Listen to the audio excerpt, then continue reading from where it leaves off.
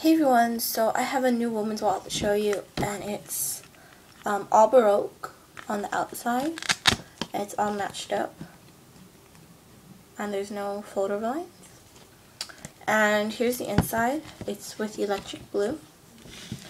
There are two pockets, a V pocket, two pockets of V pocket here. Very nice and it's um, really straight and even. And there's a billfold here and a billfold here. And there's an ID here and a coin pouch. So yeah, I hope you guys enjoyed this wallet. And it's not for sale. So thanks for watching.